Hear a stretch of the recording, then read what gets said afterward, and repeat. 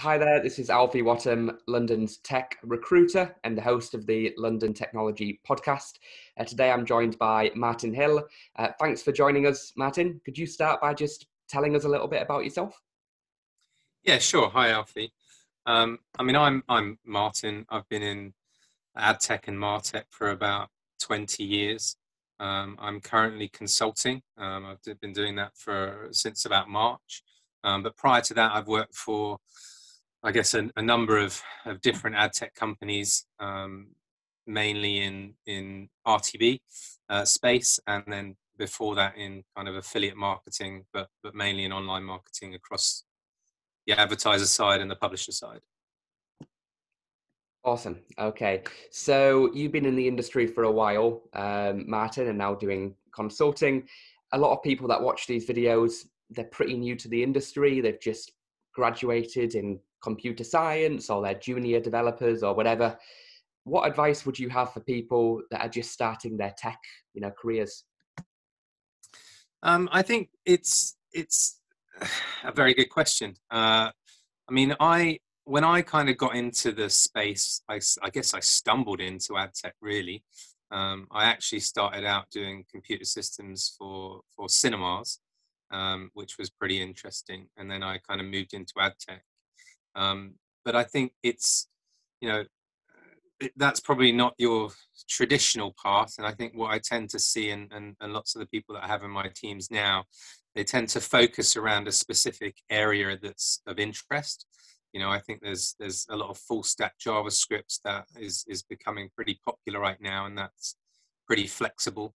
Um, but i think it's it's really you know choose your niche or choose the area that you're interested in and and focus around that. I mean i think you know if you're in london right now um, i mean fintech's pretty big um, but if you look at, at what you're going to need to get into those areas it's you know it's pretty java focused um, and perhaps you know machine learning is is one of the new technologies that that's coming along. So it's it's it's find what you're interested and passionate about and then focus on those on those languages or those areas to to try and get your foot in the door.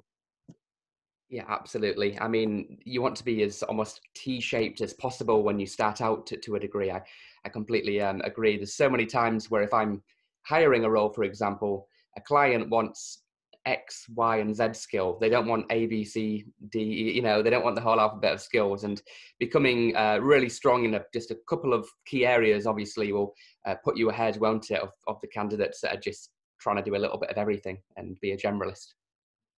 Yeah, and and, and I think that's a difficult thing to do as well. I mean, you know, when I did, I guess, computer science, and and you know, the the way it was taught back then was was actually to learn a bit of everything, right? So you know doing all the different language types of, of you know i guess functional languages procedural languages getting into object oriented and and actually not not specializing too much. And i think it was the year after me that you know suddenly it was java only right? So i did things like ml and pascal and and and and, i did a bit of java as well but you know and some c++ so i did a, a wide variety and then and then everybody started to just focus. And and that was partly because you know if you're a java programmer you're going to find a lot of work these days right? I mean that's highly popular but there are a few languages where that's the case. And so it's pretty easy to slip into those if you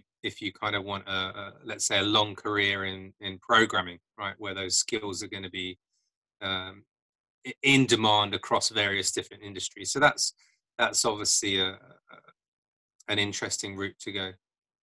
Yeah, absolutely. Now, if we were to look into the future, Martin, into your crystal ball, um, are there any technologies? I mean, it could be in, in ad tech, but it could be outside of that. But is there any tech or, or tools or ideas that, that you're passionate about that you think will have a big impact on on the future ahead? Um, I mean, I, I, I, the the skill that I probably have most is problem solving, right? So it's kind of you know getting involved understanding a problem and then designing something and, and building it to to solve that specific need. And i think you know in 20 years it's always been around automation of some kind right? It's it's looking for tasks that people are doing that they don't really need to do. You know, I think back in in the early part of my career, I, I, one of the things that I span up was a business intelligence team, and and back then, you know, you you had a lot of people in other teams who were just running reports a lot. You know, they'd come in in the morning, and they'd spend the first two to three hours of their day running a report. Now, I just questioned why do you need to be wasting all that time? You know, there was 30, 40 people in the team every day wasting two to three hours when you could automate that stuff and it yeah. could be in their inbox before they come into work at 9 a.m. Mm-hmm.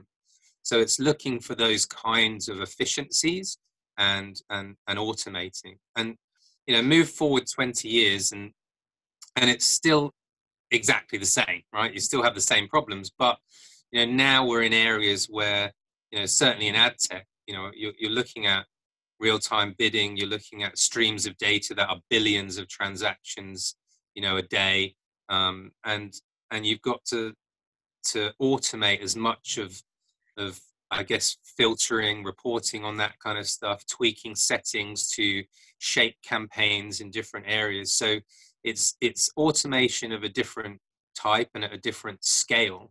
But really, that's that's evolved into machine learning, right? Mm-hmm. I think you know the ad tech industry has been brilliant at uh, overstating what it does. Like if you listen to some of the companies, you'll hear, you know, AI. Everybody's doing AI, and you know yeah. that, that's a load of rubbish. Nobody's really doing AI. Yeah. I think you know the the best that people are doing is advanced algorithms slash machine learning. Right. I think that's the, the marketers take that and turn it into something a, a little bit more advanced. You know. Yes. Yeah. Um, but but that's the interesting place to be right now. I think getting into you know data science is moving forward and and machine learning is is that place to be right now i think yeah no absolutely. You made a really good point around automation as well. I mean it's um it's only tapped the surface of what what it could be.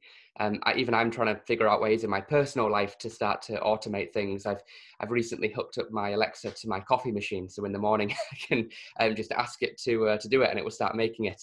Um so um it's got massive applications, not just in the in the business world, but in um, in our coffee world as well.